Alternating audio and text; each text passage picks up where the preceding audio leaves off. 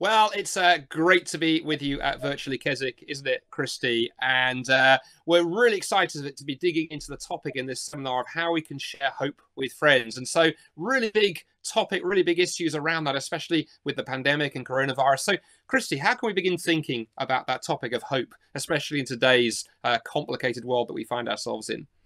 That's such a great question. Thanks, Andy. Yeah, I was chatting with one of my friends the other week. She doesn't yet know Jesus. And when I asked her how she was doing during these unusual times, I was quite taken aback to hear her answer. She's from a middle class background, materially wealthy, excellent job, uh, loved, well known, large family, part of the community, respected, etc., etc., all those good things. And I'd half expected her to say that she was really enjoying furlough, you know, extra time to knit, be with her close family with whom she lives, read, write, uh, you know, make the most of lockdown. But what she actually said to me was that she couldn't talk to me right then and there because life was so overwhelming that she just had to go back to bed. And it's it's rather funny, but that is the reality. And I'm sure that my friend isn't alone in experiencing that existential weight of fear and uncertainty that makes us question why we're getting up out of bed each day. Perhaps you felt it, and maybe maybe you feel that right now. Perhaps you feel precisely the same way. Uh, one speaker recently put it as a bubbling up of brokenness. You know, when all of those usual activities or perhaps distractions that have occupied our days like school runs, business trips, office meetings, you know, day trips, meals out, theatre, when all those things have been removed and we're just left with the four walls and the drum of our hearts beating by the moments and minutes, there's no escape. We cannot run away from ourselves. It's as one philosopher, Nietzsche, said, you looked for the heaviest burden you could find, and it was you. Who can ever be rid of you? Uh, the pandemic has created room for our, for our brokenness to bubble up in ourselves and in the lives of our non Christian friends and family. So, as those layers of self sufficiency are stripped away, after all, you know, who can outrun a global threat? Many are experiencing that heavy burden of being, that heavy burden of being themselves. You know, what hope is there? We cannot run away from ourselves, and there's nothing to run towards either. Secularism, according to Humanists UK, in part is a commitment to the principle of establishing a neutral public space in which all can meet on equal terms, regardless of religious beliefs. And there's a, there's a lot to say on this, but I just like to focus on one big thing, and that's the reality that there is no neutral public space. To believe that there is is one of the biggest, most devastating deceptions of late modernity because we're all worshippers, aren't we? The only question is, what will we worship? Our secular state has created substitutions for God, you know, idols, uh, false gods. And the thing about these false gods is that we're told that they will break our hearts. This is what we're seeing. Nations, industries, economies, they rise and fall. Relationships in lockdown, they're bending and breaking. Inquiries into divorce have risen by 54% from March, and domestic abuse and violence has risen. Many have lost or they will lose their jobs. And of course, you know, we can't forget this hundreds of thousands of people have died globally, and over a million have been ill. The secular particular gods that they usually run to for hope and for happiness, like retail therapy, an extra glass of wine, a weekend away in Malaga or Malaga, commanding the respect of a boardroom, one's investment portfolio, marital bliss, uh, the, the freedom of singleness, health, they're all being toppled much more visibly than usual. In the West, it's like we've been walking up these stairs of progress, and just as we're about to put our foot down on that next step, it was removed suddenly. We've lost our footing, we've tripped over, and we've fallen down. These empty spaces of materialism and consumerism are far from empty, and nor are they neutral. The, the thinker Jamie Smith gives us an example of malls, shopping centres, as cathedrals of worship. It's where the faithful gather to find holy objects, which they then present before the checkout altars presided by priests of sale assistants and cashiers. And this space is not neutral, it's profoundly religious. He says it's a religion of transaction, of communion and exchange.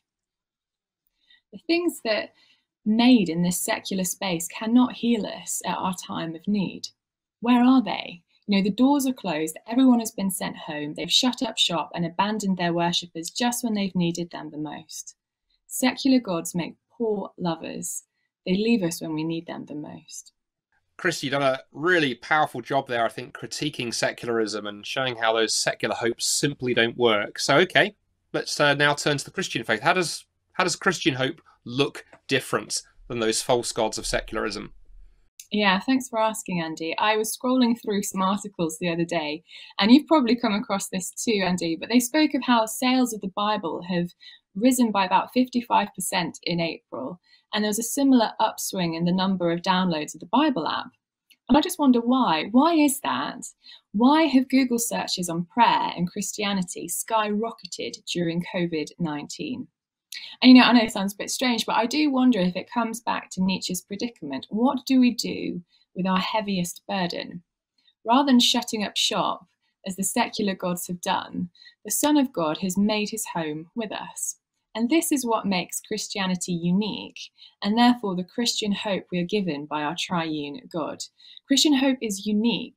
You've probably heard it said before, but it's you know, it's like a glorious diamond. You know, you hold it up to the light, and there are just so many different, sparkling, equally just glorious facets to it. But here's the centermost point of that diamond Christian hope is unique because Jesus is unique. He is the God who refuses to watch the world burn and in love makes his home with humans so that we can know his Father.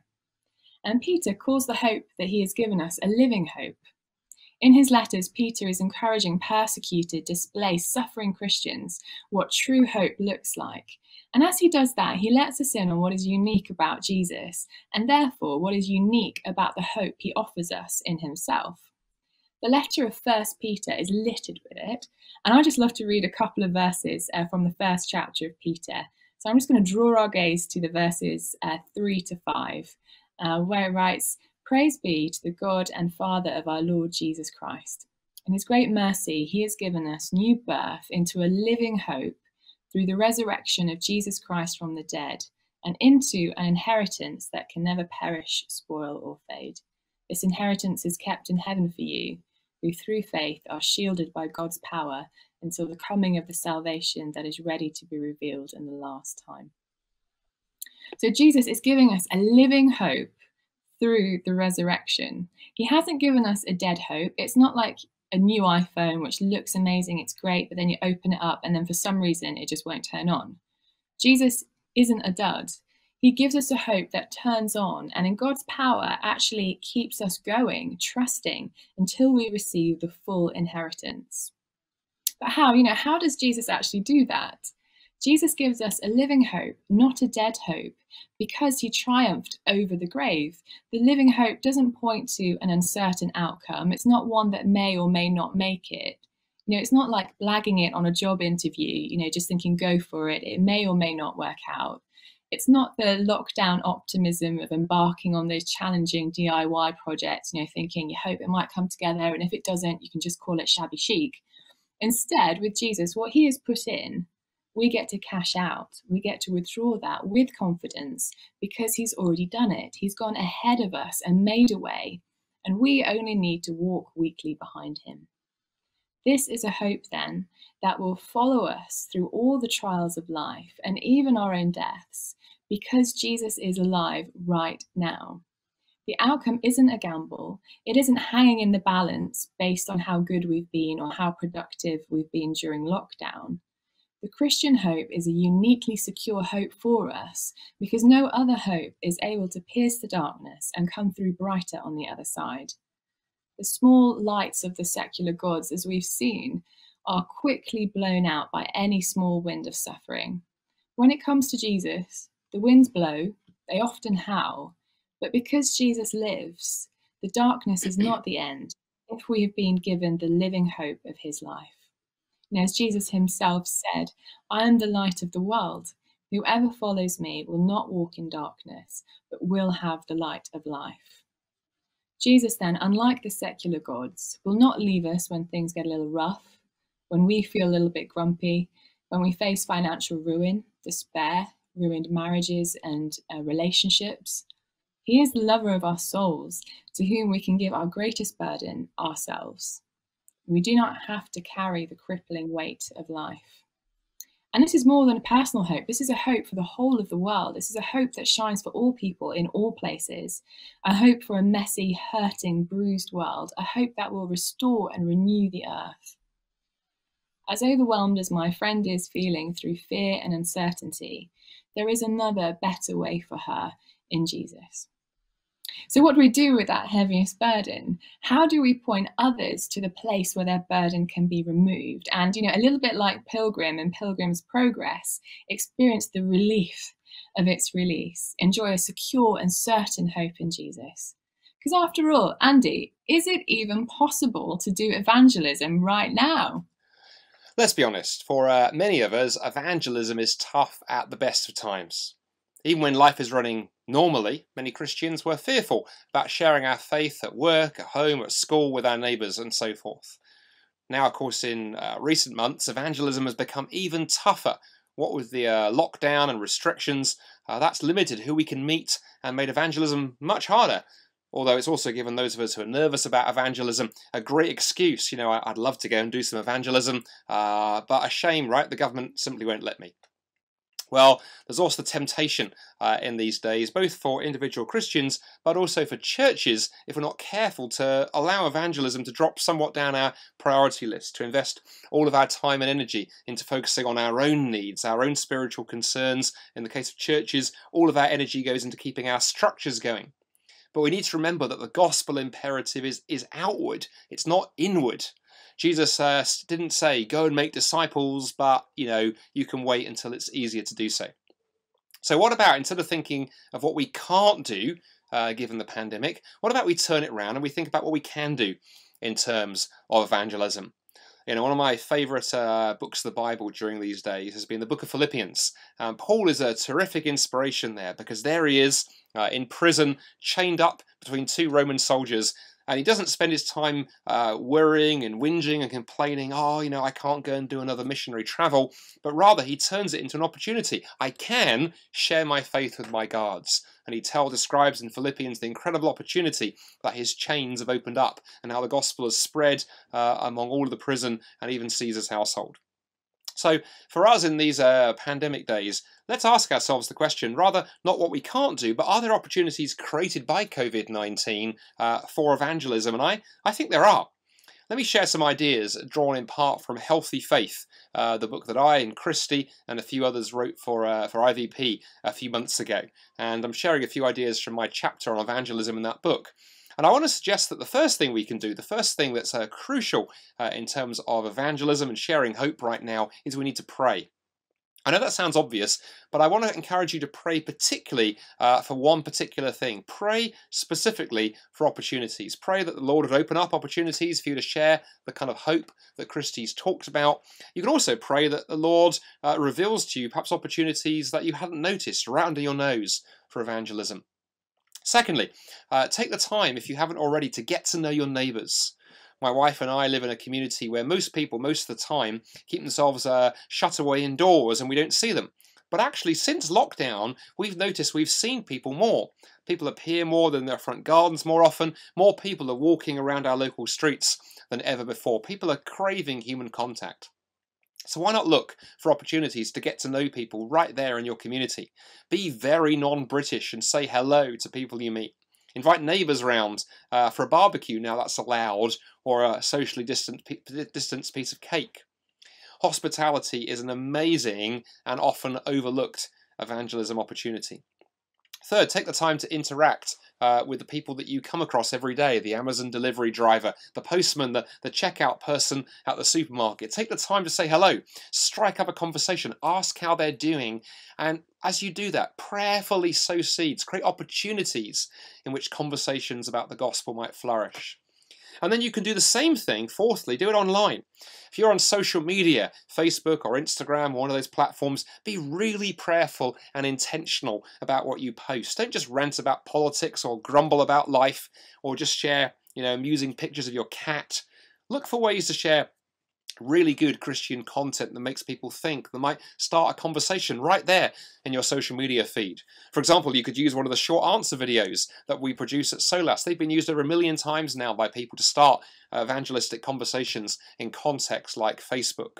Uh, there's also ministries like Alpha and Christianity Explored have also got great resources that you can use in a similar way. More people than ever are checking out Christian content right now, so use those resources and opportunities.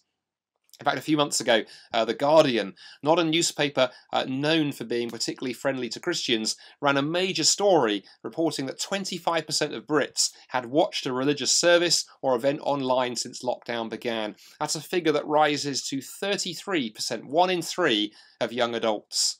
So online and offline, look for ways to make connections with people and to sow opportunities, uh, take advantage of opportunities to start conversations where you can sow pointers to the gospel and point to the kind of hope that we have as Christians that Kristi talked about. Thanks so much, Andy. There's so many kind of practical ways in which we can engage, but how is it that we can actually make the most of these opportunities?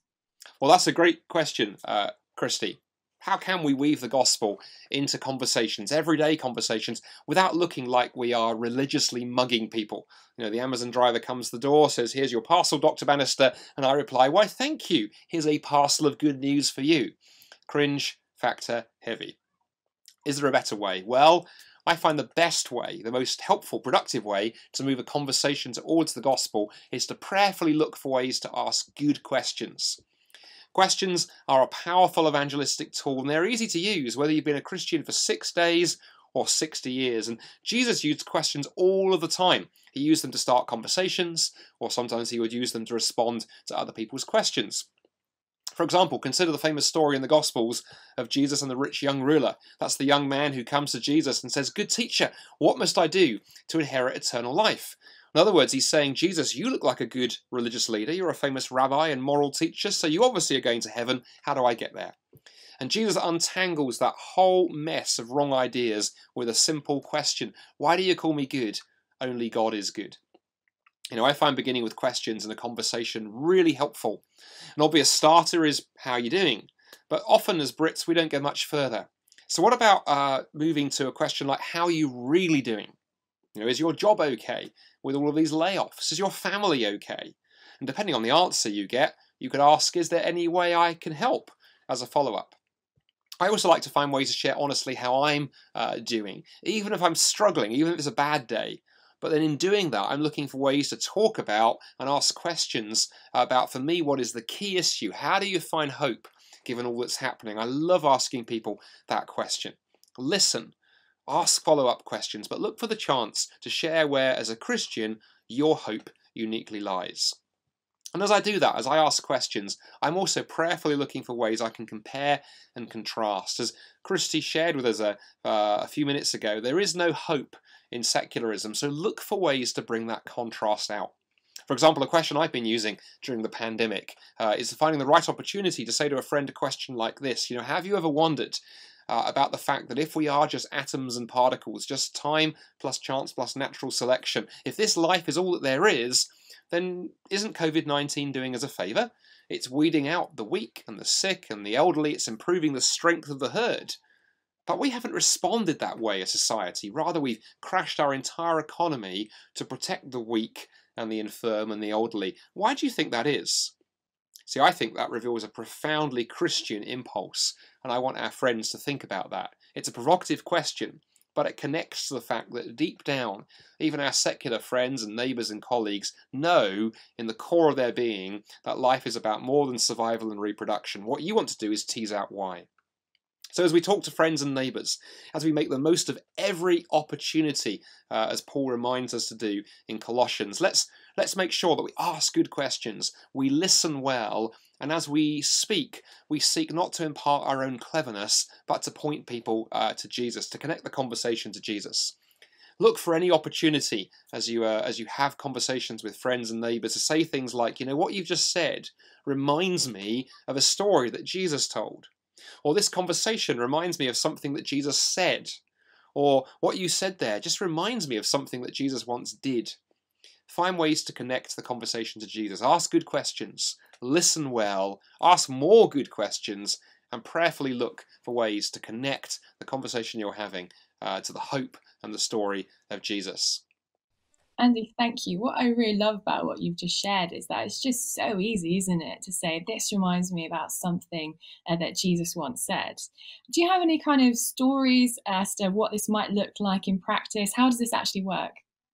Well, yeah, I mean, God is at work in so many ways. Let me just give you a couple of examples of, uh, of ways I've seen this. Uh, a few weeks back, uh, just uh, around Easter, my wife, who has all of the best ideas in our house, had a brilliant idea we went and we bought a job lot of John Lennox's wonderful little book, uh, Where is God in a Coronavirus World?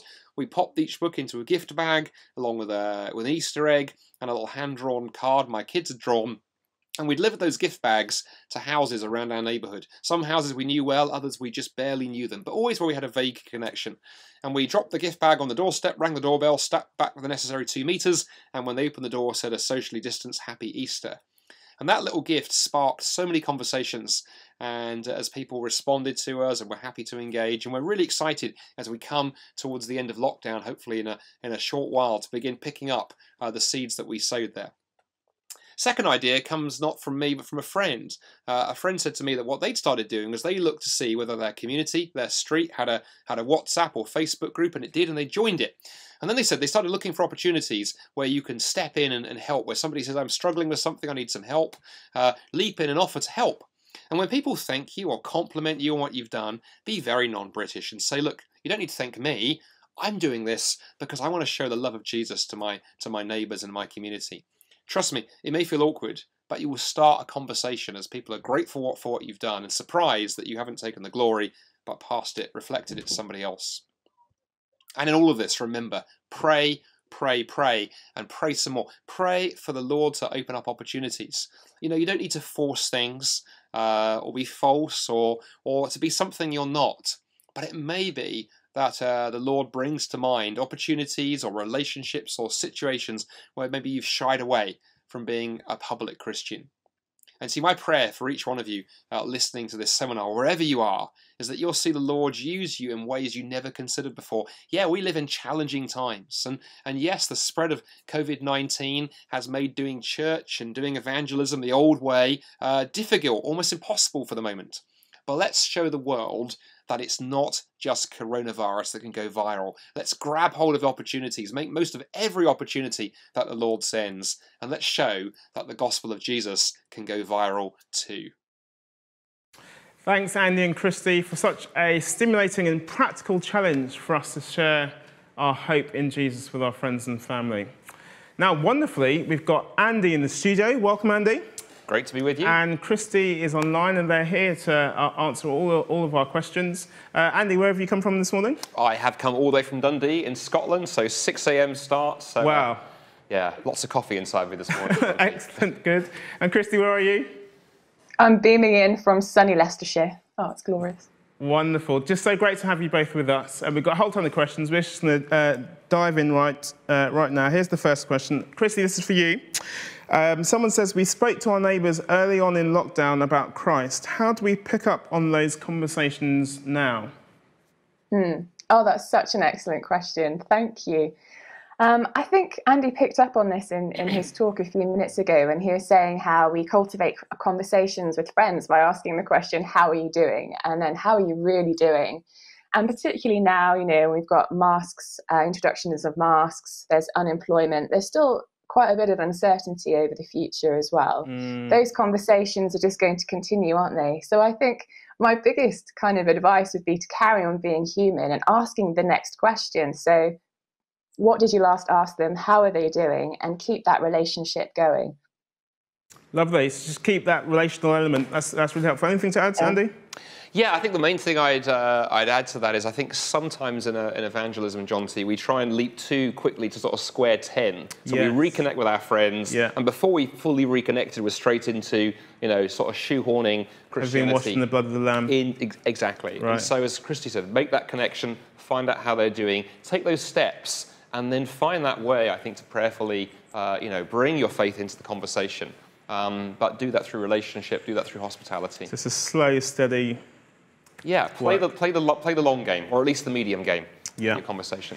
Question for you, Andy. Um, what do I say to my non-Christian friend when they ask me why is God letting so many people, including Christians, die of COVID-19? From Helena. Thanks for that question. Great question. Um, thanks, Helena, from uh, Bristol, Bristol. From Bristol. So, uh, absolutely brilliant question, uh, Helena. Thank you uh, for that. And I mentioned in my uh, in my talk uh, one resource, which is John Lennox's Yeah. book, "Where Is God in a Coronavirus World." John Piper, Tom Wright have written on that as well. So I start with those because it's a big question. I'm going to give you a couple of thoughts, Okay. um, but hugely encourage you to dig into some of the resources that are out there, Helena. First, I'd say a couple of things to your friends who's asking that question. First thing I would do is I would gently turn that question round and say the question of suffering uh, and the question of where, what do we do with pain and brokenness and hurt and evil uh, forces itself on all of us. And of course, if we live in a purely godless universe, then there's some conclusions that follow. And one of the conclusions that follows is that, you know, COVID-19 is a beautiful example of uh, evolution in action. Along comes the coronavirus and it's sweeping out the weak, the elderly, uh, you know, it's strengthening the herd. It's, it's doing a wonderful job of survival of the fittest. But we haven't responded that way as a society. Uh, We've shielded the weak. We've crashed our economy to look after those who biologically are, uh, are worth less. Um, that I find deeply, deeply fascinating. We've responded in a very Christian way as a society. So I would prod into that to start with and see how your friend uh, responds. Then the thing I'd add as well that I think is very important, Helena, Helena, is to say, look, look, Christians have always been aware that we live in a world where there's suffering. There was suffering when the early church got going. Uh, Christians suffered terrible persecutions under the Roman Empire. Uh, there were plagues and pandemics and disease and famine and earthquakes and wars. Christians have never labored under the misconception that being a Christian renders you immune from the suffering of the world because we follow a Lord who, who went through and experienced that suffering and that pain. What Christianity promises you is resources to deal with that suffering. It promises you that pain and death are not the last word, and it gives you a hope that is not some kind of vague, ephemeral hope, but a hope that is grounded in the very concrete fact of the death and resurrection of Jesus. So Christianity gives you these incredible resources to help see you through these kind of dark times. Psalm 23 God is with us as we walk through the valley of the shadow of death. That's where I'd begin. That's very helpful. Do check out those resources and throw it back to them and um, clarify what the Christian hope is. That's very helpful. A question for you, uh, Kristi. Um, a really heartfelt question from someone here. I really, and that's in bold letters, I really want my friends to be saved, but I worry about being too pushy, especially in the work situation. I do try, hardly any interest. I guess you can hear the question there, kind of how much should I try? What should I do in this situation? Kristi. That's such a great question. Thank you for asking it. I think my uh, initial kind of thought is that if you're concerned about being too pushy, you probably aren't actually being pushy at all. And so I think I'd be wanting to think through kind of what questions, what kind of could you ask to cultivate and to build a conversation with friends in the workplace. And often I think we think, I think Andy mentioned this earlier, that evangelism is kind of going in, all guns blazing. I'm going to kind of tell you all about Jesus right now. And if that's the way in which we think what it looks like to communicate the gospel, then of course that's going to be hard hitting because they might just be chatting about their weekend, but you want to talk about atonement or whatever. So um, I think just start small, build on those relationships, and as you kind of talk about your weekends, you can like throw in what you've been doing about going to church or something that you just read over the weekend that really struck you and how you're kind of processing that. So I wonder if yeah, if you think that you're being too pushy, you probably aren't. And I'd probably start by just asking lots and lots of questions until they ask you one back. That's lovely, very helpful. I've got another question. I'm going to go to Andy on this one. I think this is a question which probably all of us are asking. How do you witness to people who are doing well and are very happy and don't see any need for Jesus and generally think that this life is all that there is? What a great question. Yeah, brilliant question, uh, John T, and thank you for whoever asked that. I'm going to start as I started my last answer and give you a couple of resources and then uh, give you a couple of thoughts. It's very interesting that a very uh, famous book on evangelism and giving a reason why we believe what we believe is Tim Keller's book, Reason for God, uh, that came out uh, almost 20 years ago now, I believe. But what's interesting, that book deals with the very common objections that people raise to the Christian faith. But then Tim began to realize there was a whole generation of people who weren't even interested in those questions because of exactly this reason. They were happy, they were satisfied, they saw no need for God. And so Tim Keller wrote a follow up book called Making Sense of God. And there's some brilliant stuff in there to help you deal with, with friends uh, like this. But a couple of thoughts for you. When I meet folks who are in that kind of position, I like to do a couple of things. I like to try and look for good questions to ask, to prod uh, a little bit. One question to begin exploring with people is what happens when, uh, when those things don't work out? It's you know, very easy to think that life is great that the job is great, the marriage is great, the kids are great, everything is wonderful. But there will come a time for, where for all of us when, uh, when life uh, deals as a, a, hand of cards that is not so good. And one of the interesting things is COVID 19 and the pandemic has brought that more to the fore for many people. I have many friends and, and neighbours and, and acquaintances who, you know, life was wonderful, and then suddenly they've been furloughed suddenly they've been made redundant, suddenly they've lost a family member. And I think one of the reasons that I think COVID 19 has, in some ways, caused a little bit of a spiritual awakening in some circles, it's forced those questions to the fore. So you can gently prod your friends, you know, what happens, have you thought about what happens when uh, you know, life is, is not so smelling of roses. You can also turn it in the direction of justice and say, you know, you've got a wonderful life, it seems. You've got a great house, great car, great family. You know, what would you say to somebody who hasn't got the advantages that you've had? You know, we live in a world where we're far more mm. conscious of privilege. What do you say to somebody, uh, you know, who's living on the breadline, to somebody who's experienced racial injustice, uh, to somebody who has, you know, life has, uh, has uh, dealt them suffering and pain and not the advantages that, that you've had? How does your worldview help them out? And I think the powerful thing about the Christian faith, it shakes and challenges those of us who are perhaps a little bit too comfortable and it gives uh, comfort to those who've been afflicted. Uh, and I think those are two areas I would press into. But again, Tim Keller's book, Making Sense of God, uh, lots of great resources in there for exactly uh, that type of person and that type of conversation. That's really helpful. Those two lines of inquiry. I guess the third one that eventually we have to start talking about is judgment. That even though your life might be perfect now, one day you have to give an account to God for the life that you've, you've lived. Absolutely right. um, Kristi, over to you. Next question. Uh, what's the place of listening in evangelism? Oh, Central, absolutely central. What a wonderful question. I um yeah, often when we're considering how to talk with our friends, we think, okay, I have to have we're all looking for this kind of silver bullet, aren't we? That we can just kind of put it out there and then they will repent and believe the good news. And we just overlook the the important role of listening, don't we? So I, I actually it's yeah, I cannot speak of this more highly. There's a great book called Questioning Evangelism by Randy mm. Newman, and in that he talks about how is it that we can ask questions, what kind of questions can we ask, and making sure that they're open-ended questions so that our friends can actually um, respond with more than a yes or a no. So yeah, listening, I think, takes a central role in our evangelism because how Jesus doesn't come to us in a vacuum. Um, the eternal Son takes on flesh. And, and as he lives in the creation, he's always showing, as we see in the Gospels, what it looks like to know God through the ordinary, everyday things of life, like agriculture mm. and farming. And so how do we kind of contextualize the gospel uh, is really important when it comes to our friends. And so I think listening helps us to then know how we can give them the best answer when they then ask us. So I, again, I'd go back to the Andy and I have heard this quite a few times from a friend of ours who says, keep asking questions until they ask you a question back. So, yes, listening is central in that, I think, to be able to do that well and persuasively.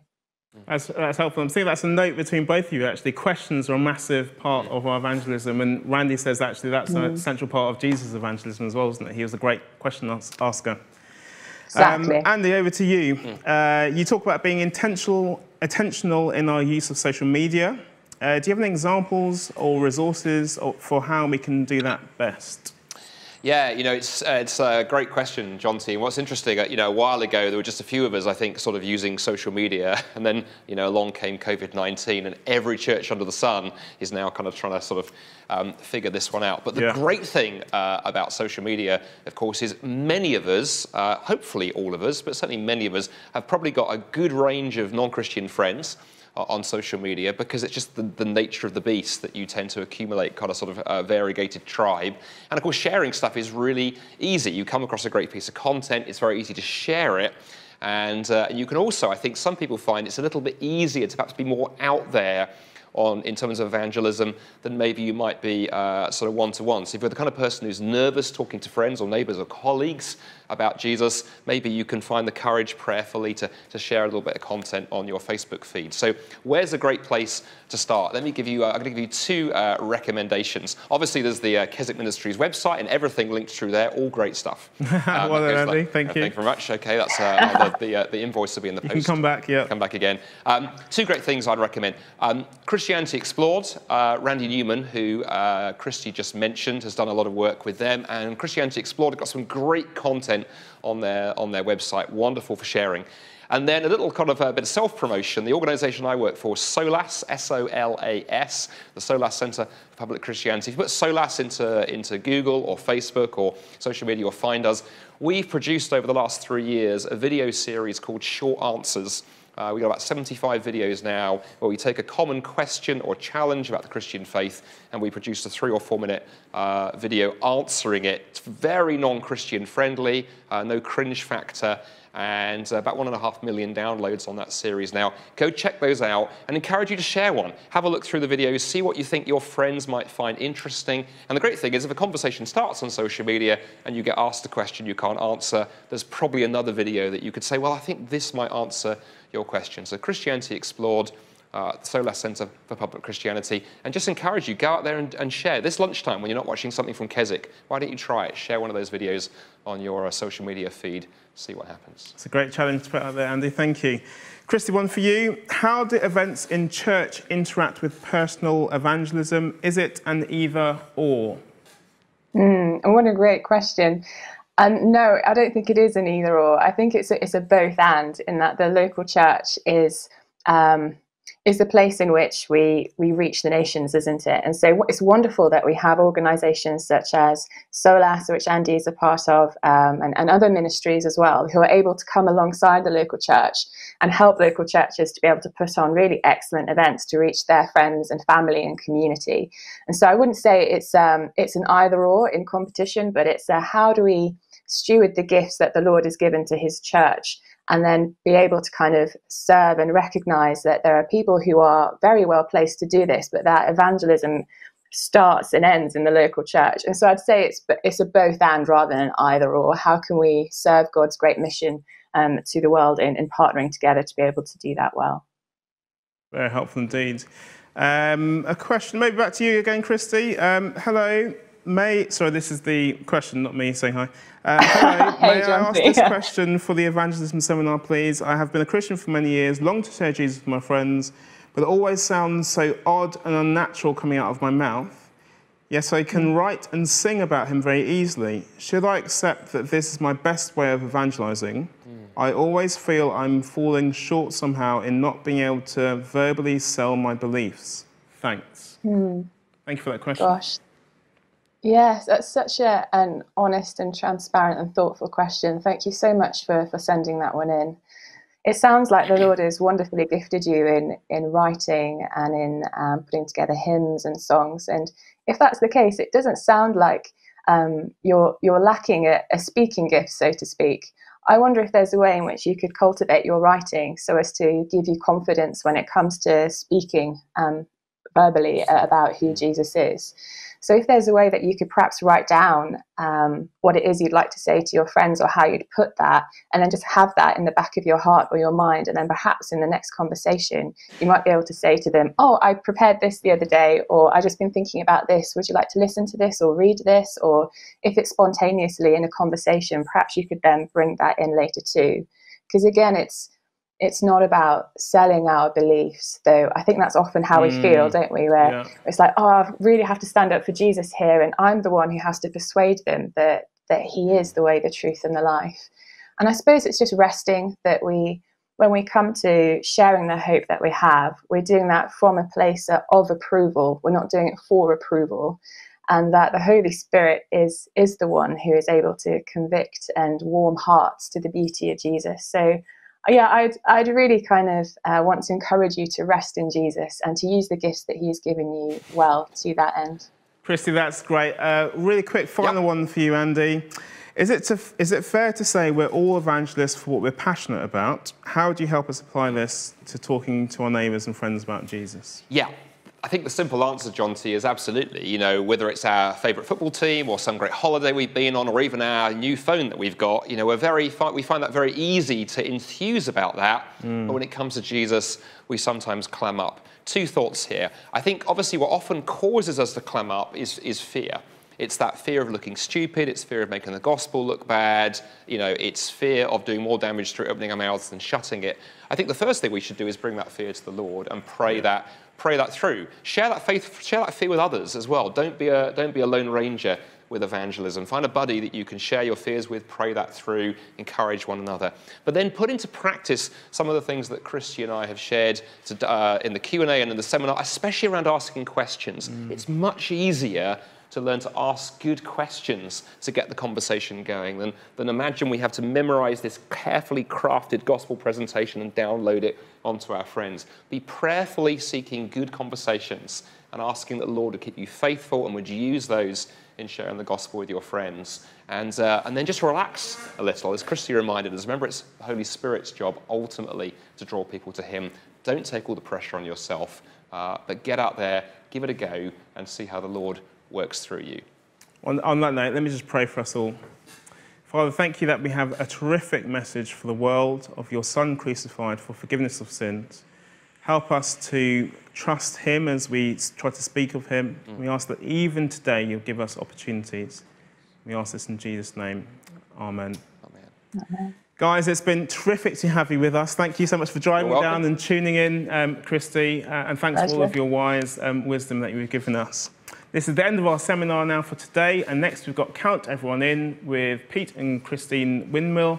Um, this is going to be an accessible short devotion which will be accessible uh, for all. Do come back this evening for our evening celebration with Graham Daniels, and tomorrow morning for our final session starting at 9 um, with a prayer meeting, and then at 10 for our final Bible, final Bible reading with Chris Ash. Thanks so much for tuning in. See you soon.